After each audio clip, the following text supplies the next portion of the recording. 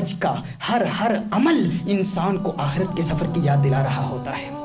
ہر کا حج کا ایک ایک رکن، حج کے تمام مناسک، حجاج کے تمام اعمال انسان کو آخرت کی سفر کی یاد دلا رہے ہوتے ہیں۔ جو ہی آپ احرام باندھتے ہیں، جو ہی آپ احرام باندھتے ہیں، تو حیرت زدہ ہو جاتے ہیں۔ ارے، میں تو بڑا مخیر ہوں، بڑے مالداروں میں میرا شمار ہوتا ہے، بڑے تجار میں میرا شمار ہوتا ہے۔ کوئی کہتا ہے، یار، میرے تو بڑے پیارے کپڑے ہیں، میں تو وزیر ہوں، میں تو تاجر ہوں، میں تو بڑی معروف شخصیت ہوں، بڑی سیلیبریٹی ہوں، میرا بڑا نام ہے، میرے کپڑے بھی بڑے قیمتی ہوتے ہیں۔ لباس بھی بڑا قیمتی ہوتا ہے، لیکن یہ کیسا لباس ہے؟ یہ دو چادریں میں نے زیب تن کیوں کی ہیں؟ یہ دو چادریں میں کیوں پہن رہا ہوں؟ تو دو چادروں کو دیکھ کر، دو چادروں کی سفیدی کو دیکھ کر یاد کیجیے کہ اللہ عز و جل نے سفر حج کے لیے ان دو چادروں کو مقرر کیوں کیا؟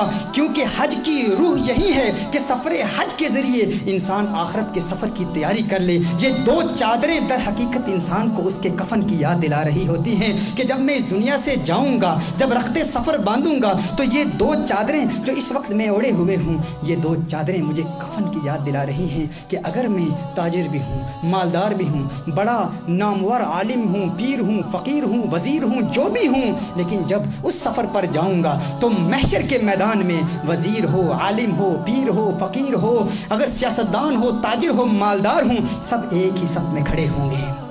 سب ایک ہی صف میں کھڑے ہوں گے۔ تو بار بار سفر حج میں ہم نے اپنے احرام کی چادر کو دیکھ کر یاد کرنا ہے کہ ایسا ہی ایک کفن ہوگا، ایسا ہی ایک کفن ہوگا جو پہن کر میں آخرت کے سفر